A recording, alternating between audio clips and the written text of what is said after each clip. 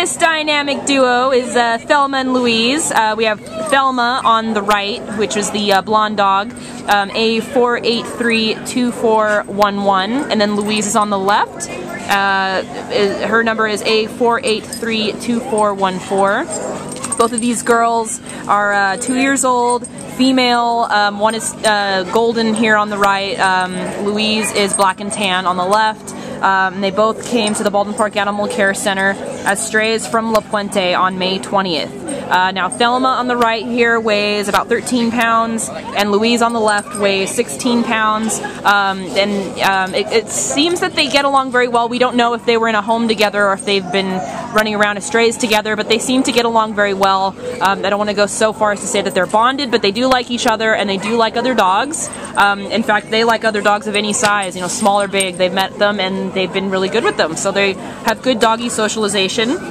Um, they're both very sweet and friendly. Um, they also love people. They go right up to them to say hello. Um, and it's clear that they don't mind sitting in your lap and cuddling for a little bit as well. Um, uh, Thelma is walks pretty well on leash. Louise could use a little bit of extra training. Um, they're they both did show signs of being housebroken, so that's excellent. Uh, they're ready to go in that respect.